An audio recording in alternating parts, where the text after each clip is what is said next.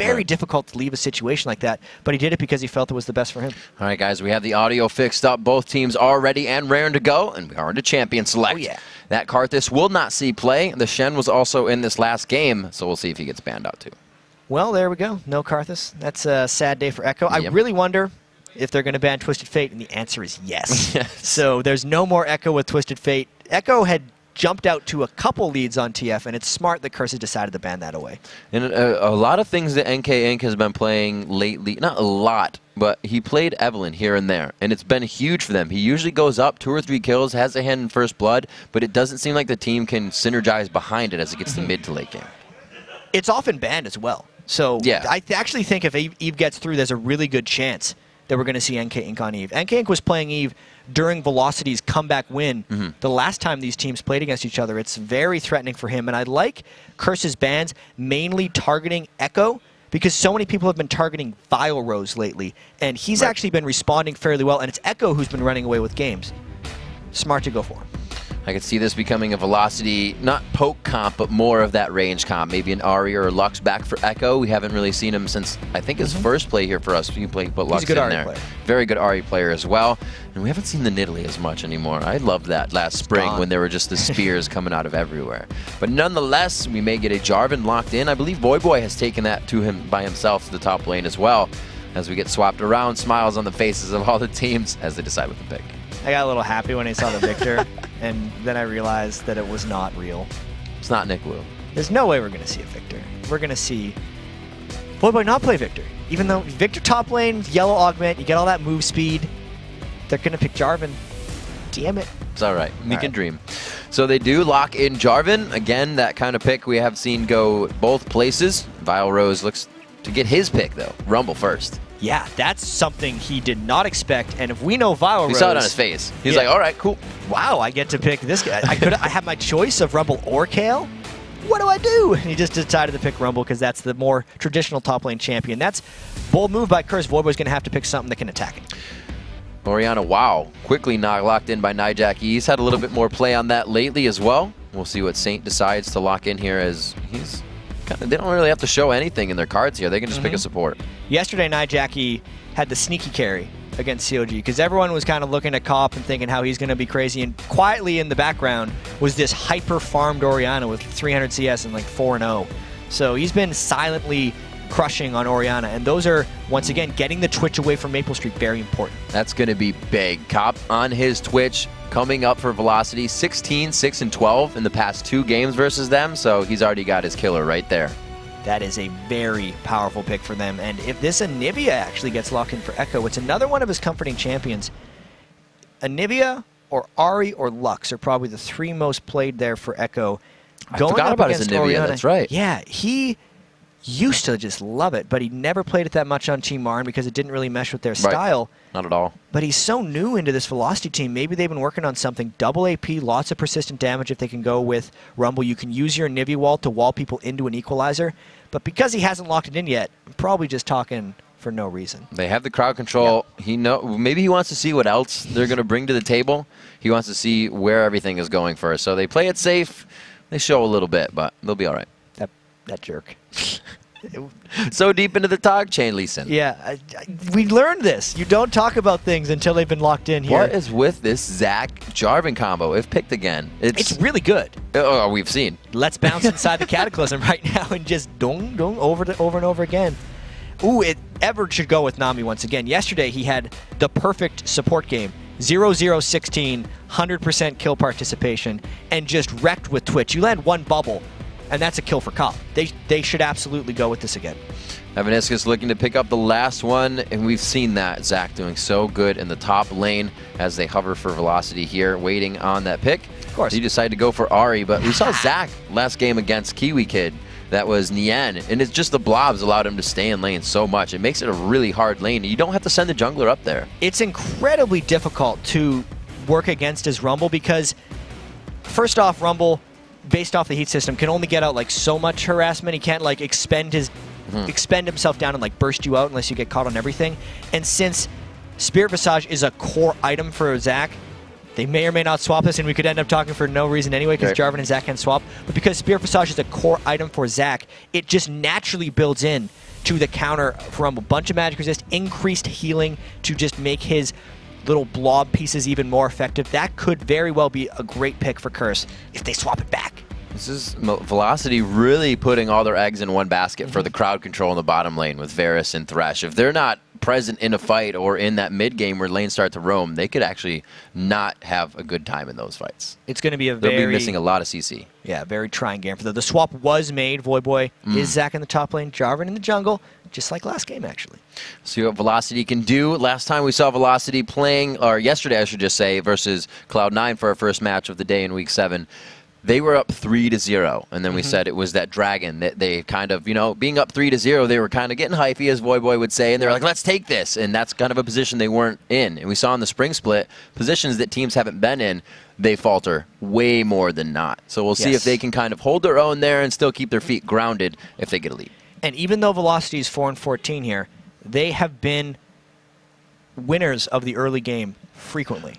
It's the trend, it's the mid game where they seem to struggle the most. If they make it out of the mid game with a lead, even if they're slow to finish, we haven't seen Velocity have huge leads late and then get come back on.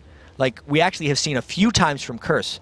The mid game is actually going to be the key of this one, most likely. And again, they have the early, right? They have that Lee Sin. You got the Rumble ulti to come at six, but after that, we're going to have to see if they can continue it because a lot of these guys having that caster as the AD carry may fall off towards the very late end of the game against that Cops Twitch. So we see Curse and Velocity now onto the Rift for our second matchup of the day here. We'll see what both these teams can do for a level one. little bit of defensive line being played by Velocity right now, even though they're the ones with the Thresh who potentially has the level one edge, but because Curse is brute forcing in with five, they're going to get their wards where they want them. They're just not going to be able to do it sneakily. See NK Inc. landing that Sonic Wave, making sure they have nice vision. And uh, make it. Oh no, I thought they were going to see. Have to see what velocity Echo picked up. He actually hasn't chosen uh, taken a skill yet, so they could have got a charm attack there. But no positioning, and both teams are really dancing this one out. Curse is going to hatch this ward as they walk over it just below velocity. And Velocity may be wanting to go in for a fight here if they land any kind of hook, but they didn't.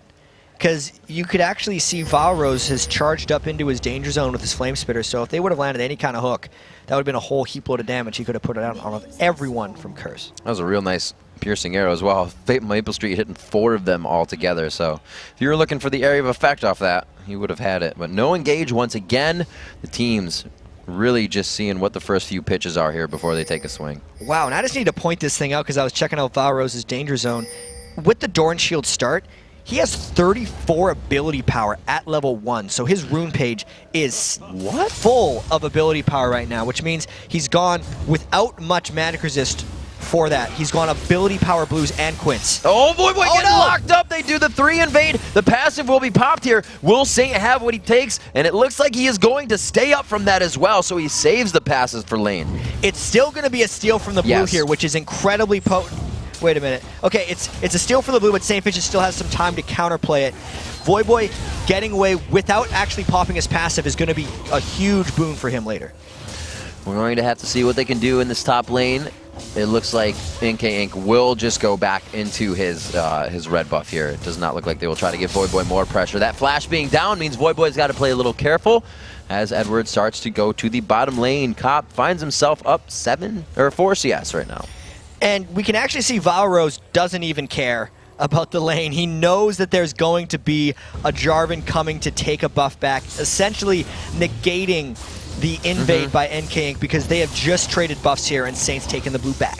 And we do see that NK Inc. actually puts a little bit of that pressure towards the top side. You guys didn't get the passive last time, so this could be scary. Voyboy does not have flash, so it makes it an even more dangerous gank. And there is almost no potential for anyone to come help him here. I think Voyboy just has to give this one up. He's got good positioning, at least for himself. He's playing it safe. They say, I think somebody's going to be up here. It looks like they're going again fast turret. We do see the 3v1s in the lanes, and this is what we should expect. So we know these guys are going to be trading mm-hmm. turrets right off the start. They waited for the cannon minion wave, knowing that the turret is going to take a longer time to be taken down. There's not much either team could do about this unless they put the jungler up to stop it and make a 3v2 or if they roam to mid lane or over. Saw this happen a little bit last time. It's not a Yi in middle this time. It is that Ahri. So they're going to be able to fight a little bit better. And that lane is going 19 to 17. Doran's here for Echo. He likes to double Doran start in that lane to keep the wave clear going and is the HP man up. And this is the question that we have to answer every time we see a turret swap. Yeah. What does the team do directly after that? Apparently Oh! just catch Vileroze. Oh, Vileroze walks right into the team. St. Vicious is already on the other side. It looks like First Blood maybe coming in here, and it is Vileroze going to Cop. And I love how everyone waited for Cop to trigger his expunge because they knew that was a kill secured and they trust him to carry getting those kills.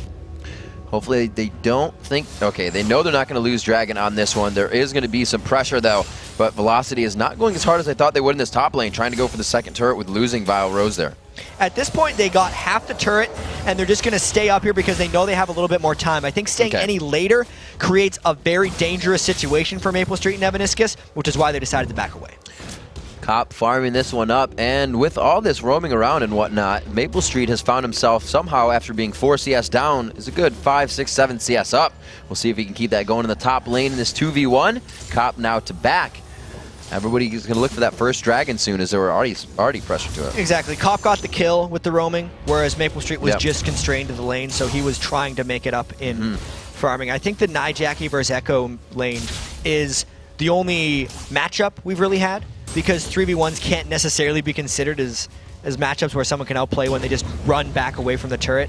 And Nyjacky, I feel like, is outplaying that right now since Jackie got peeled away to the blue buff early on in the game when St. Vicious was needing some extra help to go get that. So he actually has been playing from an experience disadvantage against Echo and hasn't let it affect his farm.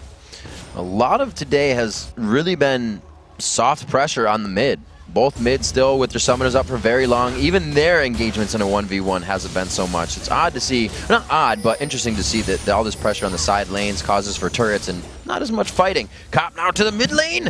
Few attacks onto Echo, but here's NK Oh, no. Inc. on the backside. The cripple's down, but the finish, or follow-up rather, is not there. And we're at least seeing Velocity make some pretty solid strategic choices here, really. They're pushing the bottom lane really hard with three because they see Voyboy's trying to freeze the other side of the map, which is why both the top and bottom lanes are together trying to make something happen. Not much of a gold lead here, so these fights are really just based on what abilities have been leveled right now. Going back, you see Evanis is taking quite a bit of damage. Nyjacky, he's out of mana though, so he's going to have to be careful here. Forces the flash on that, which actually is big if he goes back to mid, but it looks like Cop and Edward are now faced off against Echo. Jackie was actually going to have to go back that wave anyway because Right. he was out of mana. It was just a very close kill, and getting the Summoner spell out means NK Inc. specifically will be able to be more aggressive in that lane if he can get a ward jump once he's level 6 on Lee Sin. And so Echo being stopped from roaming here. We do see that Nyjacky tried to make a few moves, but this was really in protection and defense. St. Vicious is now trying to do it in this lane. They're not getting too much damage onto the turret, but it looks like they will be able to take it down, as well as Voyboy pushing in the top lane, trying to get that gold back, but he's going to be met with Vileroze. See, even though Velocity is down the one kill to zero, they play the early game well. They definitely have these strategies mapped out early on, and it's working out for them here as long as Valrose can hold this against Voyboy, which I don't see any reason why he wouldn't. Trade back and forth isn't really in anybody's favor there, as it's going to be Voyboy healing up and Vileroze shielding most of the damage. Echo on the charm, but again, they get close. They're caught in an antsy position here, and Echo's forced to use the last Spirit Rush to get out of that situation. But that was a level 7 versus level 4, and both walked away flashing red. Obviously, Edward couldn't use his ultimate because it hmm. wasn't up yet, but that wasn't a bad thing for Cop and Edward. Landing the bubble created an opportunity and forced Echo to go all in for a kill. A lot of early roaming going on in this game. The lanes have pretty much been stopped already. Uh, quite a crazy and uh, a game requiring adapting for these Yeah. teams. It's not slow, even though it looks like it could be Yeah. for 1 and 0. There's definitely been a lot of fighting here, and that would that was a interesting dragon choice. Basically, Velocity was fact checking Curse's wards since they had a pink kind All of right. inside the dragon pit, but it wasn't seeing the ward in the brush that Curse had, which is why they just recognized Curse moved towards it and got out of there. A big push on this mid lane. It actually looks like no, they will send defense to it with that wave coming up. We see Vileroze coming in from the top lane here as it's already pressured. These guys are trying to find something. It's everybody kind of just milling about. Nobody, they know what to do, but it just kind of seems like they don't know where to do it. Right now, the farm is still pretty close. Mm-hmm. Because Voyboy was able to freeze that lane, in exchange for Velocity getting the bottom turret. That's why Voyboy seems so far ahead of Valros in minion kills. Velocity's okay with that though, especially with Rumble. He's the one champion that everyone who plays Rumble says, even if I don't get my farm, between level 6 and 11 my ultimate's still crushing people. I'll Yep. get the farm later, they'll catch up. And that's what Velocity's kind of keying on. Everyone talks about don't team fight Rumble the Dragon between 12 and 16 minutes or 12 and 18 minutes, and that's exactly what Velocity will want to force soon. I'm gonna say this might be a red buff and a dragon attempt, but Vileroze starts to head top. I think, oh, I figured rather after hitting six, they would get that equalizer down to the dragon area. But again, they don't want to lose dragon for a turret at this point. They are up a turret, so they're just kind of trying to hold that advantage and gain dragon with it. Yeah, there's so many wards in that area, as you mentioned. Double Thorns for Echo. The builds aren't quite there yet. I have to say, Cop has a slight item edge onto Maple Street, but he has to be very careful with his positioning in these fights since everyone is still so squishy this early on in the game. You can see the wards in mid as well. Saint was just sitting on that one. They were not allowed to get the gank. He returns to his jungle, still picking up his buffs as well. So it looks like Jackie did not get his. Not that he needs it, but he's been in the bottom lane farming it out. And an interesting Madred's Razor choice by NK Inc. Oftentimes we've seen Jungle Lee Sins sometimes just start a Doran's Blade or just go straight for a Sightstone. But NK is deciding to farm a little bit more on Lee Sin and instead going for pink wards and green wards instead of just rushing that Sightstone. So they're looking for objective control, but they haven't been able At to least activate early objective control yeah. because it's actually Sightstone is a fighting item for Lee Sin for the most part. And if you can get into it early, it's actually very beneficial for the style of Lee Sin that we see in competitive, which is tank, initiator, try to kick the priority target back. So with what seems like a slow game, it has been 10 and a half minutes in. We don't have anybody reaching the 100 minute mark at all, which would be with the next minute or so. 84 on to Cop is going to be the highest in the game as they finally do throw for that dragon. We'll see how this Modric plays in. Well, it was the fresh pink ward that NKN could actually mm-hmm. just picked up. So going for objective control, getting objective control, and Voyboy maybe getting a turret back. Really, Curse is relying a little bit on Voyboy getting farmed for all the things they're giving up to Velocity right now. It's quite a tanky turret in the top lane. Losing mid for this one may be bad, and you can see Voyboy already backing off. If Velocity overcommits here, Uh-oh. Curse is going to flank all around them. We have St. Vicious and Voyboy in the back. They might be able to catch Velocity in a fight here. There's oh, the link from the left side. Edward gets caught out. He gets charmed as well and exploded.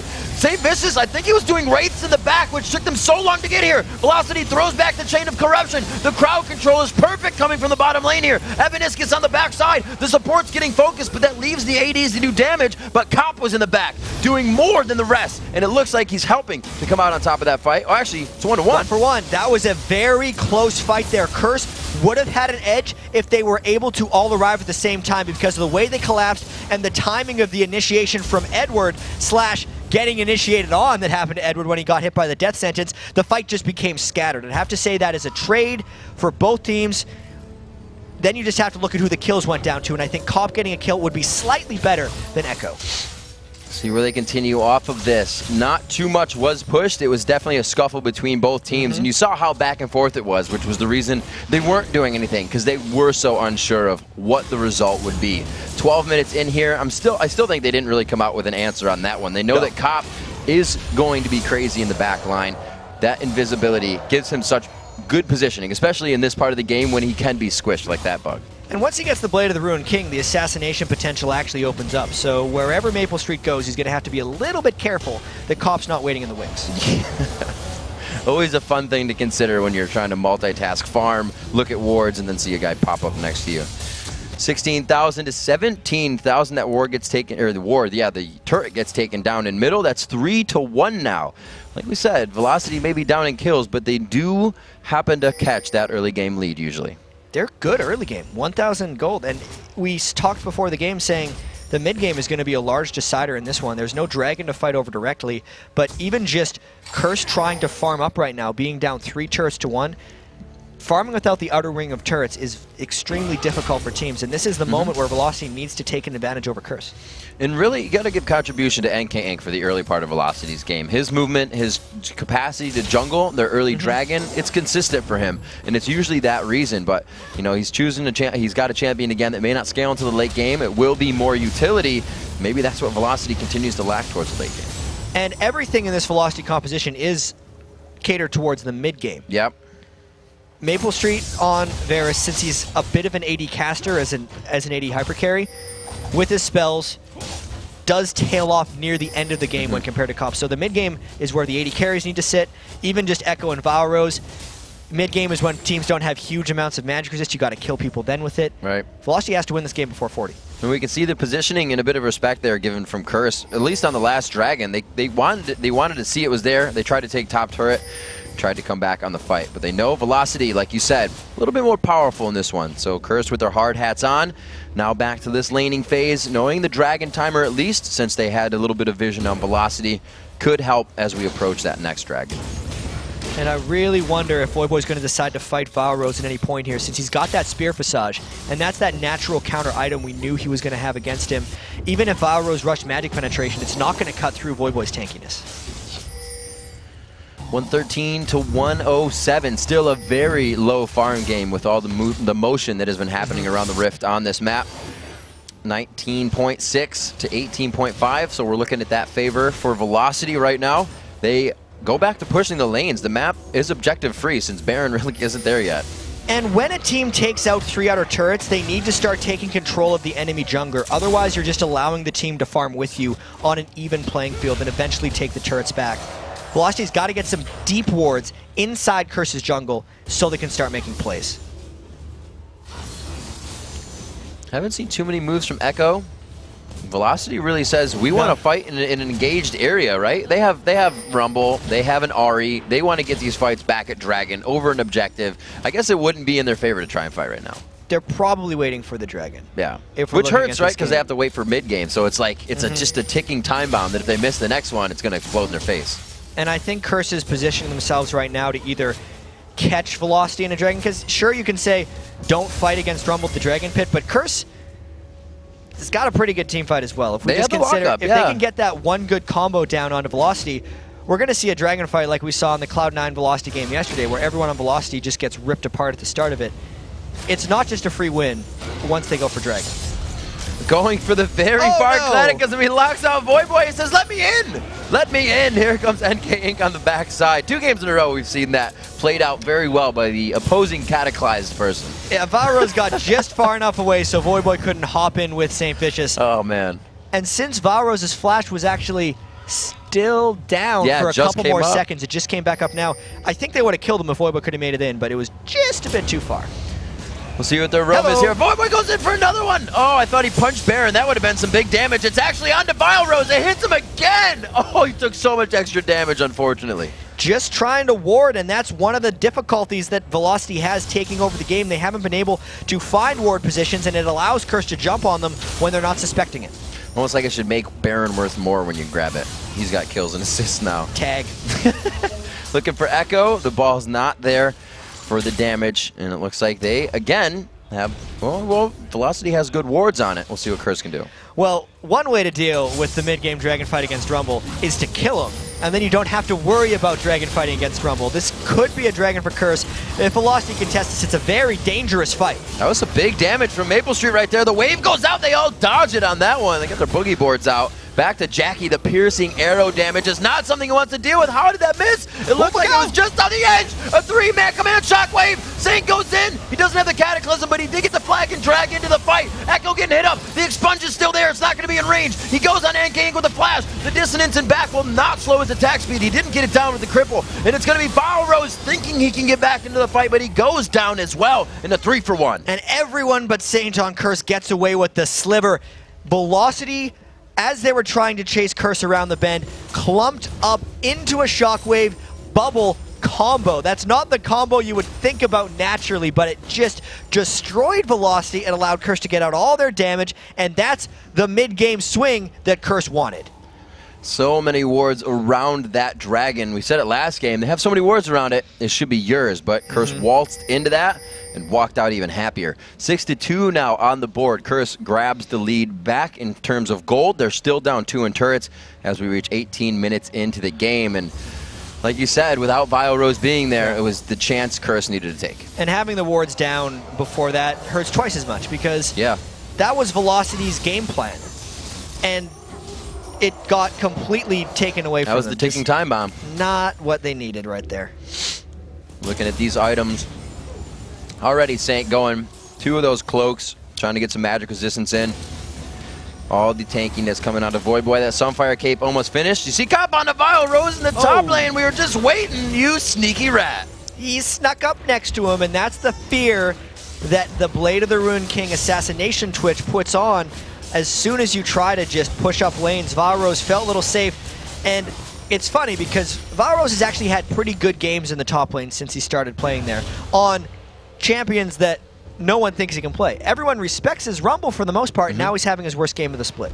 They, they are going to focus that no matter what, over and over again. He's going to be a bit more uncomfortable than everybody else. If it's something you need to, if, if it's something you're looking for, then you can find it right there. We'll see if the team can get back behind him. We still have seen Vile come back very much so in these fights. He is also Rumble. He's done it on Shen, just to, just to make the fact that it's not going to be the Rumble ulti to do it. So we'll see what they do. As Curse looks again for another one of these kills in the top lane. I really wonder kind of what's going through Valrose's mind right now, just because you have a champion that you love playing so much. So as soon as it becomes available to you after mm-hmm. being banned out forever, you think, I know exactly how to play this guy. But once again, once you have a main that gets banned all the time, you actually stop practicing it. And that may have been what happened to Valrose here, because he just doesn't have the comfort level. And the team, Velocity, doesn't have the comfort level playing with it since they haven't been allowed to for so long. Gonna have to work in the buddy system here. Every time this starts to happen, at least I know, you kind of want to get that more farm. You put yourself into that spot because you say, if I can get this, then you get ganked again. We saw it happen to him there, and now we see the NK Inc's going to kind of be roaming with him towards that top lane a bit before he backs. And it's so difficult for them to farm as well, just Yeah. because of the 4 0 and 2 Twitch that is stalking his prey again and again. So close to even that Infinity Edge, and it it reflects in the play of Velocity right now. Despite being up in turrets, Velocity has turtled into their own base and actually kind of giving up position in their own jungle. Oh, NK Inc throws the ward down, actually hits the backside of the little lizard, so they are going to make it away with the red buff. Val Oh, a very nice ultimate, but the command shockwave stops the re-engage. You can see a great flash tempest coming in, slowing down Jackie, slowing down Edward, and they start to just demolish this fight. That is one way to get a team out of your jungle. You just go and kill them. That was a great equalizer by Valros there. And Curse completely bailed out because it was a fight they got initiated on when they were 4v5 since Voyboy was off split pushing the other side. Cop is on the run. Uh-oh. I feel Velocity is trying to stalk him down. No! Do you? That was like one of those things you're at the school play. He's like, right behind you. He's right behind you. Grab him. They do get the hail of arrows and the flay in. That's a big shutdown for Maple Street. And that's what Maple Street needed to get back in this game. He has to be able to create some late game carry potential. We know if Maple Street has a good game, Velocity generally wins. And this is a very close game that Maple Street has to turn into a good one.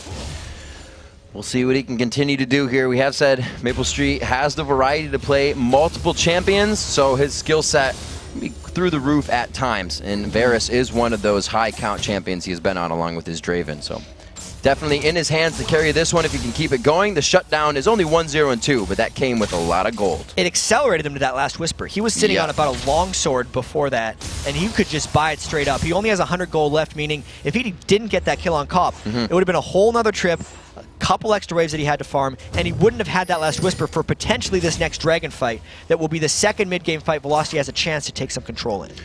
Jackie not feeling Zhonya's like this game is it's really not a dive team to him. They're looking for Cop, so he's going for that damage. He's going for the shield power in a Rabadon's. Coming up with his next buy. As we look around, still Saint just stacking up the magic resistance, and he looks like he will be building up his team that bulwark next. It's absolutely necessary against Rumble Ahri to get that bulwark, which is why he has the double no magic right Yeah. now, since he will eventually upgrade both of them. But he needed the personal magic resistance first, since he's always the one going in first. Oracle's being picked up here on Edward. That Oracle's being persistent now through death with its recent change. We'll see how they utilize that as they lose right now the bottom turret. But this is now with Baron up 23 minutes into the game, so there is the pressure of that on the map after any fight going awry. And Voyboy is again trying to sneak up from the flank here on Velocity. That's why Velocity's pulled back, because they sense him coming. This game has actually been a lot of Voyboy farming away from Curse and then Velocity taking advantages for it.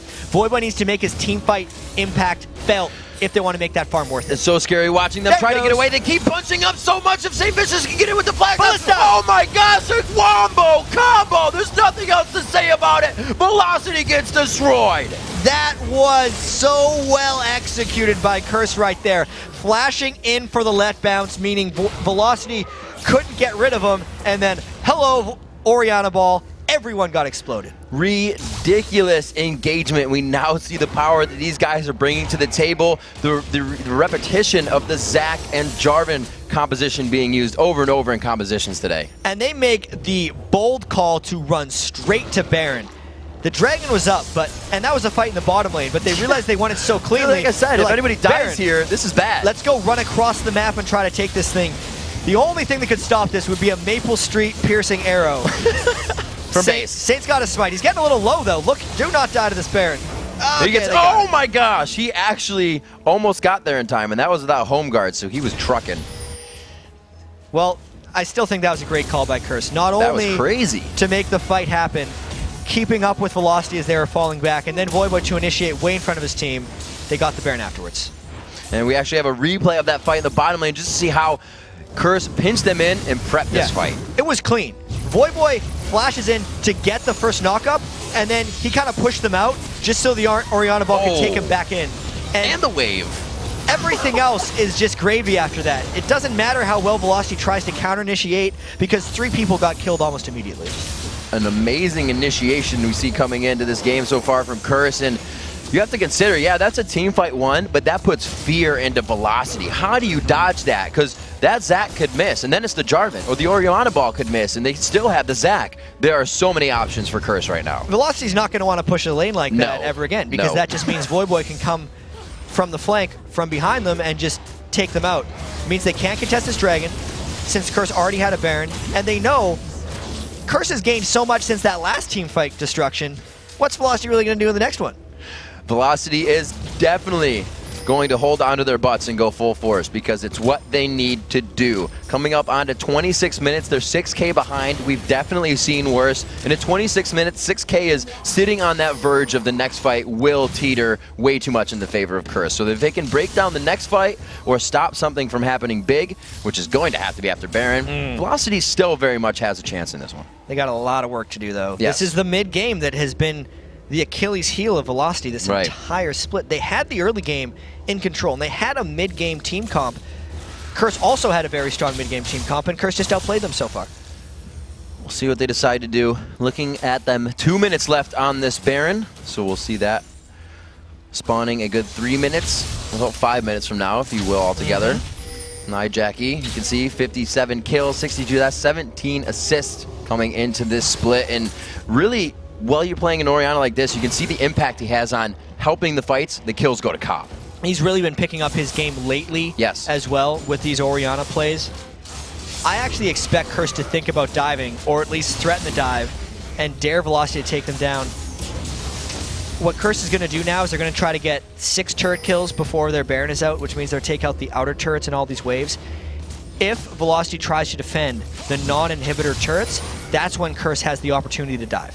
There's so much strength in Voyboy just charging up Elastic Slingshot. You can see Velocity takes it into consideration. It's it's not a joke whatsoever because Saint can come over the wall. There are crazy things. Cop's going to come out of nowhere, and he's getting ready to look for that. This wave, Velocity doesn't even want to play with this. These are incredibly difficult turrets to defend, which is why they were kind of there for moral support, and then Yep. they realized Curse meant business, and they have to just back away. Yeah, these outer turrets are pretty much, or they have Curse's name on them right now. If they wanted to go to top, they would do that without a minion wave.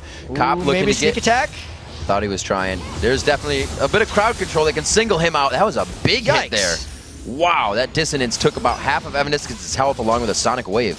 They could have straight up killed Evaniscus. If Nyjacky decided to use his Orianna right there, Oh, yeah. it would have been a kill. But Curse wanted to save it because they want that to get a team, not just a support. Curse is sticking around here. They got a little bit left on this Baron buff, and because they're sticking around and not going to the other side for the other outer turret, I expect to dive on the next wave. There, There it is. is. Voyboy from the back line. The ballista goes in, but they flash out of it. I don't think it's going to be enough for velocity here. The wave after the cataclysm, after the let's bounce, and it's Saint taking the turret for his team. He gets the ball on him for a second, but it's moved for damage as well off of Nyjacky. They continue the fight. Velocity's doing a perfect job at kiting. They need this turret to fight. They've done a good job, but they lost the turret, which means Curse is just too strong at this point. And even though their Baron wore off halfway through that fight, you could just see the strength of Curse in that fight. The Ballista combo missed. Orianna Ball Yeah. hit nothing, but everybody else hit a whole bunch. Voyboy was still bouncing around and had enough damage to kill nearly everyone on velocity, or at least push them off the turret. And it was a good dive and call overall by Curse. And we can see just how slow this game has kind of gone. There are kills. We're getting to the late game here, but it's only two core items for Curse that they're fighting with right now. And it's two core items that come into 30 minutes. You usually see the third one at least being pieced together. So the game is slow, but everybody's managing to fight at this level still. Yeah, well, if Curse is only sitting on a couple items, that means Velocity's sitting on even less. Yeah, exactly. With all the roaming that happened early on in the game, the farm totals were low, and since it was roaming without kills, it degenerated the gold value Mm-hmm. overall for the game. The game time doesn't actually matter aside from death timers and the strengths of some of the Mm-hmm. Right. minions. So it's fine for these guys. It's the lead that matters. See in the Sunfire Cape, Void Staff coming in for Voyboy here. He wants to add a, a little extra damage to here, and you kind of see those builds come in when you know you have that gold lead. Mm -hmm. He is tanky enough. Mm-hmm. Might as well build some damage, and he's got full, just the best penetration build he has. Yeah. The flat pen and the percent pen for magic damage are all multipliers to his damage. Since J- since Zac has such high base damage and not incredibly high ratios, that is the highest damage build Voyboy can actually go for. It actually makes his Sunfire Cape hit for even more as well, since it's magic damage. All the pain coming from the blob right now. It's super unstable. Seven to three in turrets. Like we say, 11 are on the map. So you're looking four more in the eyes of Curse to drop down the base and then the Nexus. They don't need all of them, just the two in front of the Nexus right now. And even though Curse doesn't have the Baron buff this time, based on the success of their last dive, I wouldn't be too surprised if they try this one again. They know Voyboy can initiate from everywhere, and they know that they burned Echoes and Evaniscus' flashes in the last team fight, so they have a bit of freedom to go in if they want to. This is getting a little more into a hectic gang too. We see the wards coming out now, but if you look at the map, hardly any wards have been placed recently. The oracles are out, but there's also nothing to clear. So these teams are like, we need to fight. We need to figure out how to stop Cursor now. Then we can ward. And both these teams will remember the tremendous comeback that Velocity had against them when Velocity was Mm-hmm. down eight turrets to two. They're actually better at better off in turrets this game is when they came back and won.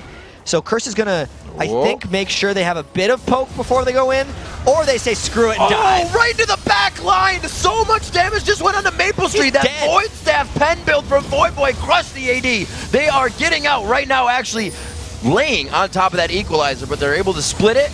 Echo and team do a good job of stopping that for now, but it's still rolling into the base. That's one way of flying in. Just go well past the remainder of the team, and because of the damage build, he was able to, him and St. Vicious, destroy Maple Street far away from the rest of the team. And then the other three weren't even really fighting.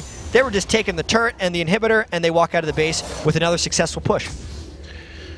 And we actually see builds coming up. Deathfire Grasp, Lich Bane onto Echo. So these guys will have, with that double AP comp, you're also going to get slower turret pushing. So that will mm-hmm. assist in that. If Velocity can do what they did last time, get that last kill, get the timers at 50 seconds in the Death Chamber and go for it. With Baron very low right now, 2200 HP. It's not going to be the death sentence to take it down. Snake, Saint nails the smite. There's a there's a mouthful. That was another situation where the enemy jungler was dead, so there was no Yeah. full risk of a smite still coming in. Smart Baron for Curse, and they've had smart calls really this entire game.